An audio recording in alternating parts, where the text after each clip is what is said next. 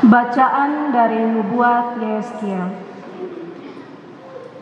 Sekali peristiwa, kembalilah rohku ke dalam tubuhku dan aku ditegakkannya. Maka aku mendengar Allah yang berbicara dengan aku. Beginilah firman-Nya.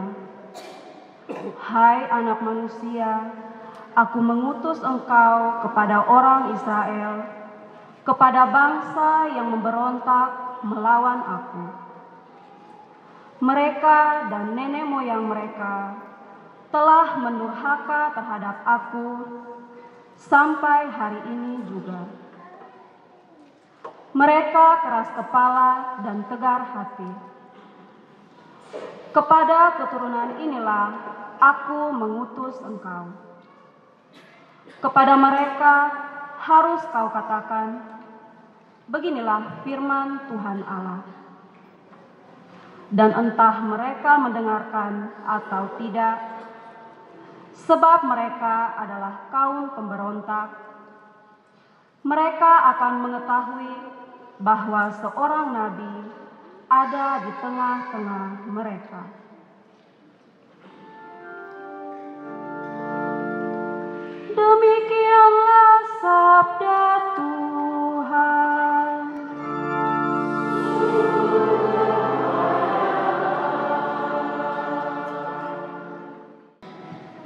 Pembacaan dari surat kedua Rasul Paulus kepada jemaat di Korintus.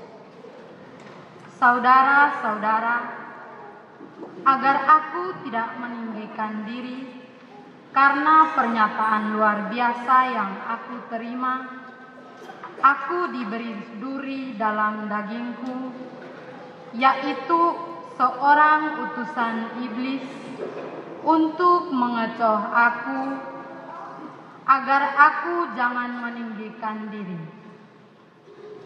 Tentang hal itu, aku sudah tiga kali berseru kepada Tuhan supaya utusan iblis itu mundur daripadaku. Tetapi jawab Tuhan kepadaku, Cukuplah kasih karuniaku bagimu, sebab justru dalam kelemahan kuasaku menjadi sempurna. Sebab itu, aku lebih suka bermegah atas kelemahanku, agar kuasa Kristus turun menaungi aku. Karena itu, Aku senang dan rela di dalam kelemahan, di dalam siksaan, kesukaran, penganiayaan, dan kesesakan oleh karena Kristus. Sebab jika aku lemah, maka aku kuat.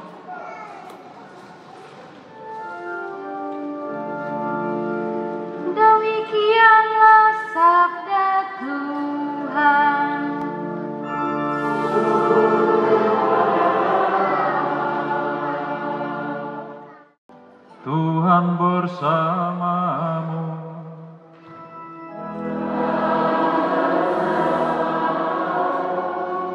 Inilah Injil Yesus Kristus menurut Markus.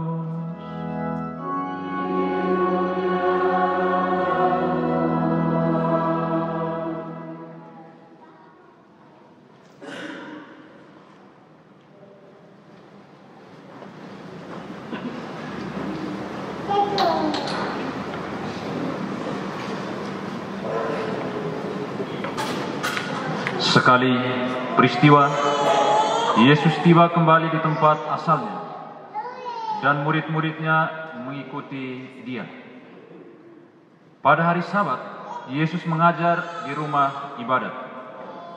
Banyak orang takjub mendengar dia dan berkata, "Dari mana diperolehnya hal-hal itu? Hikmat apakah yang diberikan kepadanya?" Bagaimana mujizat-mujizat yang demikian dapat diadakan oleh tangannya? Bukankah ia ini tukang kayu, anak Maria, saudara Yakobus, Yoses, Yudas, dan Simon? Bukankah saudara-saudaranya yang perempuan ada di sini bersama kita? Lalu mereka kecewa dan menolak dia. Yesus pun berkata kepada mereka, Seorang nabi dihormati di mana-mana, kecuali di tempatnya sendiri. Di antara kaum keluarganya dan di rumahnya. Yesus tidak dapat mengadakan satu mujizat pun di sana, kecuali menyembuhkan beberapa orang sakit dengan meletakkan tangannya di atas mereka. Yesus merasa heran karena mereka tidak percaya.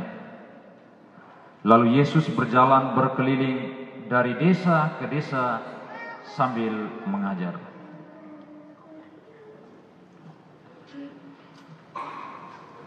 Demikianlah Injil Tuhan.